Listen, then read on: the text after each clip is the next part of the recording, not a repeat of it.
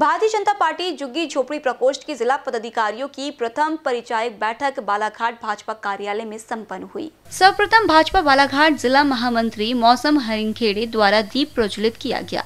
भाजपा नगर अध्यक्ष सुरजीत सिंह ठाकुर एवं बालाघाट भाजपा जुग्गी झोपड़ी प्रकोष्ठ के जिला संयोजक अजय सुखदेवे के द्वारा श्रद्धेय कुशाभाऊ ठाकरे, डॉक्टर श्यामा प्रसाद मुखर्जी, पंडित दीनदयाल उपाध्याय की छाया चित्र माल्यार्पण किया गया। साथ ही तथागत गौतम बुद्ध जयंती मनाई गई।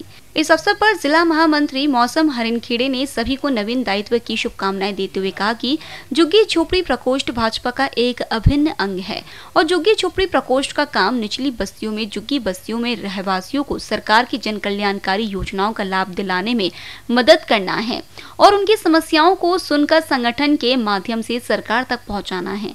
जबकि हमारे प्रधानमंत्री नरेंद्र मोदी जी के संकल्प से हम जुग्गी मुक्त कर सभी आवासहीनों को पक्के मकान बनाने के लिए शहरी क्षेत्र में ढाई लाख रुपए सीधे खाते में देकर प्रधानमंत्री आवास दिए जा रहे हैं।